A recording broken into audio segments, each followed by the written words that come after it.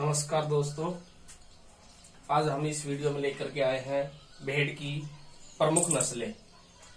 Next video में हमने अन्य नस्लों के बारे में चर्चा की थी और आज हम लेकर के आए हैं कराकुल अभिवस्तर अभिकालीन और जैसलमेरी। देखिए, कराकुल जो नस्ल है भेड़ की इसका मूल स्थान, जो उत्पत्ति स्थान है, वह मध्य एशिया, इसका मूल स्थान माना जाता है। मध्य एशिया, ईरान, इराक, अफ़गानिस्तान, व दक्षिणी अफ्रीका और पश्चिमी यूरोप। इस कराकुल भेड़ की नस्ल का उत्पत्ति स्थान है।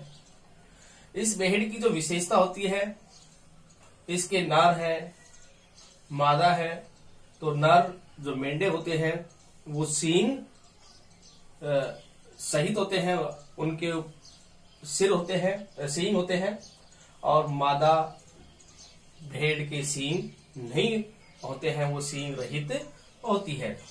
इसका जो आकार होता है, वह मध्यम आकार की होती है।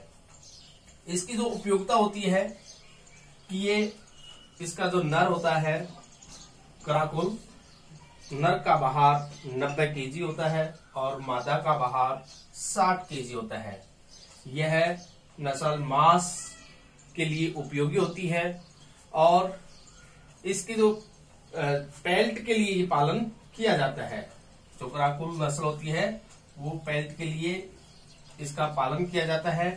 इसके जो मेमने होते हैं, उस मेमने को कम उम्र में ही मार करके उसकी जो घुमराली ऊन होती है तो घुमराली ऊन प्राप्त की जाती है और उस ऊन से टोपी आदि बनाई जाती है और सर्दियों के वस्त्र है, वो बनाए जाते हैं।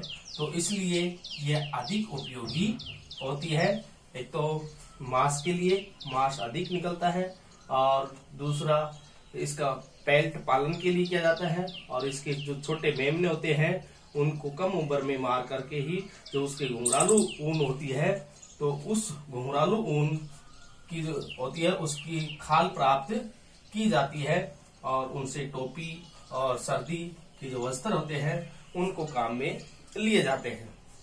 दूसरी आती है अविवस्त्र ये अविका नगर और मालपुरा जो तहसील है, टोंक ज़िले की, राजस्थान के टोंक ज़िले की अविका नगर और मालपुरा जो तहसील है, वह इसका उत्पत्ति स्थान माना जाता है। रेमुले नस्ल, ये अवि वस्त्र जो भेड़ है, इसका जो इसको विकसित की गई है तो यह रेमुले नस्ल के मेरिनो जो मेंढे होते हैं, उस और चोकला नस्ल की जो भेड़ होती है, उसके संकरण से यह अभी वस्त्र नस्ल तैयार की गई है। मेरिनो मेंढो और चोकला नस्ल की भेड़ से, के वर्ण संकरण से यह तैयार की गई है, विकसित की गई है। इसका, इसकी जो विशेषता है, औसत वज़न छह माह में लगभग 12 केजी इसका वज़न होता है और एक साल में यह 23 केजी के आसपास वज़न हो जाता है। और मेमनों की जो वार्षिक जो जन्म दर होती है, वह तिरानवे दशमलव दो एक प्रतिशत होती है। यानी कि एक साल के अंदर इसकी जो वार्षिक जन्म दर है, वह तिरानवे दशमलव दो एक प्रतिशत होती है। और छह माह में ही लगभग 12 केजी वज़न हो जाता है और एक साल की उम्र में 23 केजी वज़न हो जाता है। इससे अभिवस्त्र जो भेड़ है, इसमें लगभग एक भेड़ से चार, दो से चार केजी ऊन प्राप्त होती है प्रति भेड़ से। तो दो से चार केजी ऊन की प्राप्ति होती है।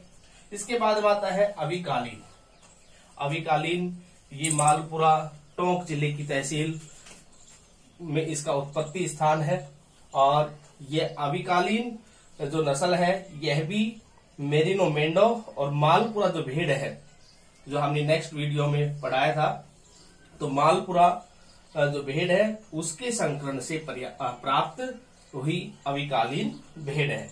तो इस प्रकार से इसको विकसित किया गया और ये हमारे जो भी ये संकरण का जो कार्य किया गया है, इसमें संकरण का जो कार्य किया गया है, उसमें हमारे जो केंद्रीय भेड़ एवं ऊन अनुसंधान संस्थान है, केंद्रीय भेड़ ऊन अनुसंधान केंद्र के द्वारा यह नस्ल विकसित की गई है। और यह नस्ल, ये जो संस्थान है, ये मालपुरा टोंक में है। केंद्रीय भेड़ ऊन अनुसंधान केंद्र, मालपुरा टोंक के द्वारा मेरिनो मेंढो और मालपुरा भेड़ की नस्ल से यह संकरण से प्राप्त की हुई नस्ल है। इसके बाद में इसकी जो विशेषता होती है, यह इसकी ऊन पतली होती है और एक वर्ष की उम्र में लगभग इसका जो वज़न होता है भेड़ का, वह 25 केजी के आसपास हो जाता है लगभग में। होता है।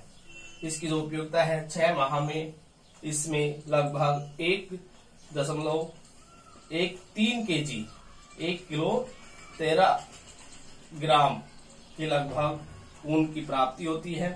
और भेड़ों से टपिंग, जो छोटे बच्चे होते हैं, और टपिंग सत्तानवे पॉइंट पाँच, नौ पाँच प्रतिशत और मेमनों के पैदा होने का इक्यासी दशमलव चार सात प्रतिशत है और ऊन से उत्तम किस्म के कालीने बनाए जाते हैं। तो इस प्रकार से यह अभिकालीन भेड़ की उपयोगिता होती है। इस उपयोगिता के लिए इसका पालन किया जाता है। अगली आती है जैसलमेरी। देखिए, जैसलमेर जो राजस्थान का जिला है, जैसलमेर तो वहाँ जैसलमेर मूल रूप से इसका उत्पत्ति स्थान माना जाता है और इसके अलावा जोधपुर और बाड़मेर का जो क्षेत्र है, जिला है, वहाँ पर भी इसका विस्तार है। तो जैसलमेर जिला इसका उत्पत्ति स्थान है और जोधपुर, बाड़मेर यहाँ पर भी यह जैसलमेरी नस्ल की भेड़ पाई जाती है। अब इसके बाद में देखते हैं कि इसकी जो शारीरिक विशेषता है, आकार में बड़ी होती है शारीरिक जो आकार होता है, शरीर अधिक बड़े आकार में होता है। सुदृढ़ होता है हष्ट पुष्ट होता है, वर्गाकार में होता है, सिर बड़ा होता है, नाक रोमन लिपि आकार में होता है, चेहरा काला या भूरे रंग का होता है और कान लंबे लटके हुए होते हैं और इस नस्ल की भेड़ सींग रहित होती है और पूंछ की लंबाई लगभग 28 सेंटीमीटर की होती है। तो इस प्रकार से इसकी शारीरिक विशेषता है। और इसकी जो उपयोगिता है कि जैसलमेरी भेड़ से उत्तम किस्म की सफ़ेद ऊन लगभग एक दशमलव आठ से तीन दशमलव दो के जी की ऊन प्राप्त होती है। एक किलो आठ सौ ग्राम से तीन किलो दो सौ ग्राम तक ऊन प्राप्त की जाती है। सफ़ेद उत्तम श्रेणी की ऊन प्राप्त होती है। इसकी जो नर का बाहर होता है, वो 32 से 45 केजी होता है और मादा का बाहर 30 से 36 केजी होता है। और जैसे मेरी भेड़ है तो इससे लग अधिक मांस की प्राप्ति होती है। तो यह ऊन प्राप्ति के लिए और मांस प्राप्ति के लिए भी इस उपयोगिता के लिए इसका पालन किया जाता है। और इस प्रकार से आज के इस वीडियो में इतना ही है। धन्यवाद